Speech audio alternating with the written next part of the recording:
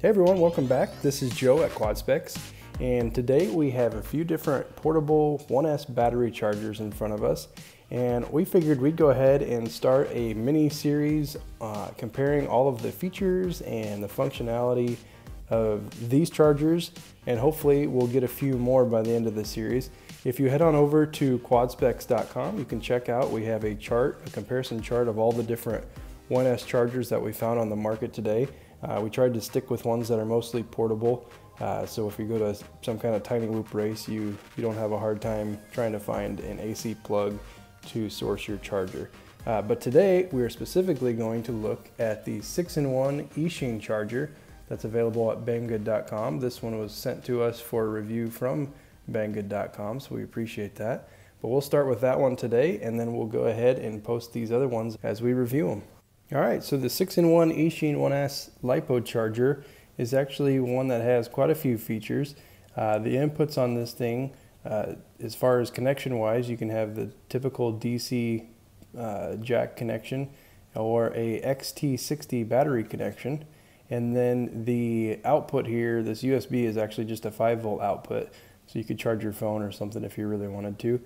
Um, and it has a display here on the front and it scrolls through and it'll show you the voltage on each one of the uh, six ports.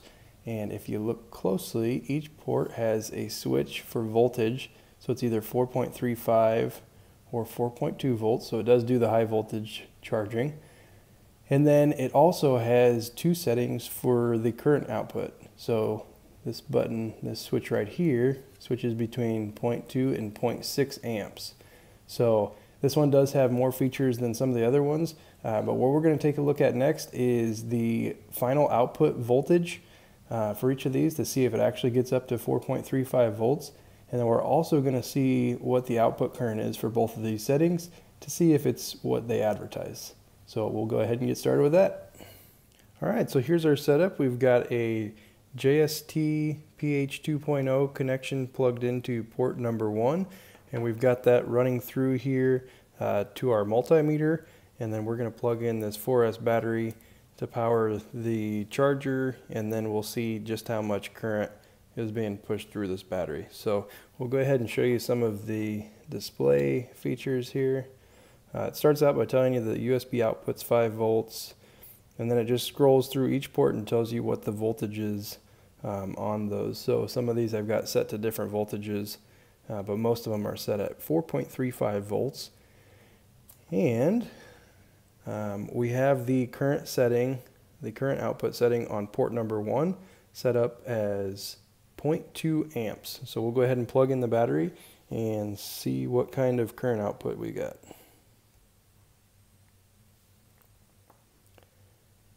So that one's 0.24, 0.25 amps, what comes out right to about 1C for this 260 milliamp hour battery. Um, and then we'll just go ahead and scroll through a couple of these other ports here while we've got it plugged in. So port 2 at 4.2 volts is closer to the specified 0.2 amps. We'll go back to another 4.35 volt output. So again, that at 4.3 at 4.35 volts, it's up closer to 2 point or 0.25 amps. Let's try another one at 0.2 amps.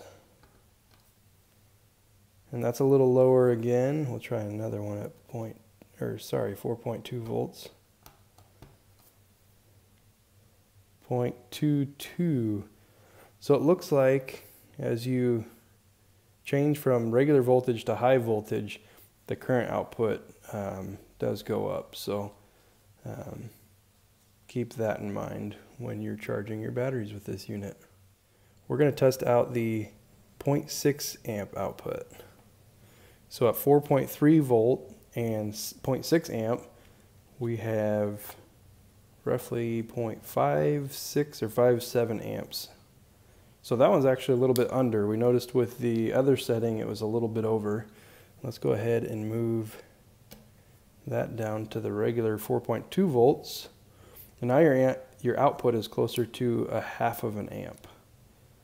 So it does not output the full 0.6 amps that is stated on the charger. We'll go ahead and try a couple different ports here just to confirm. And that one's still set at 0.2. That one was a little stiff.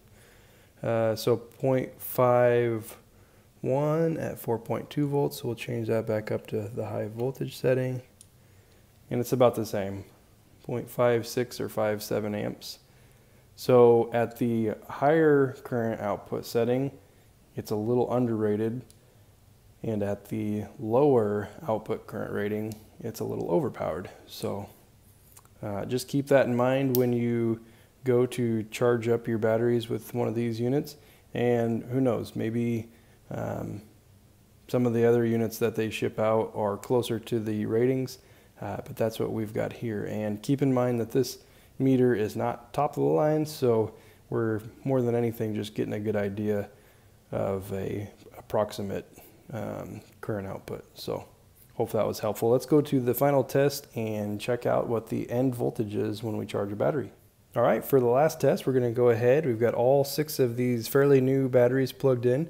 We're going to get them all charged up. Um, we have the top two at 4.35 as, long, as well as the bottom two. And then these middle two batteries are at 4.2 volts. So we'll go ahead, let those charge, and then when they're done, we'll take them off and see what the final voltage readings are.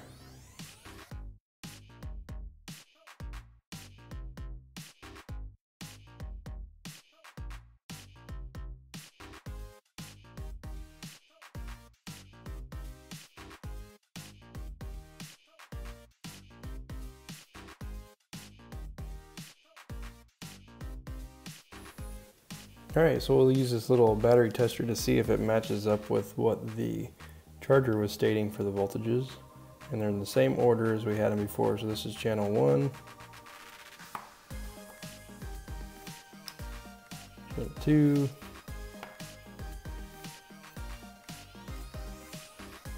Three. That one actually is over 4.35 volts. I'm starting to wonder if just the meter in there was off. 4.22.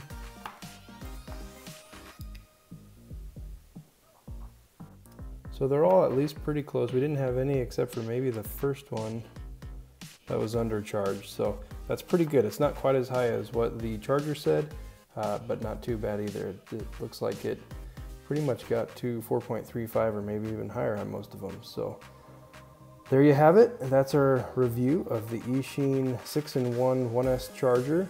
Uh, hopefully this was helpful. If it was, be sure to like below and hit the subscribe button. And be sure to check back for the next chargers that we're going to review in this series. So thanks for watching and we'll see you next time.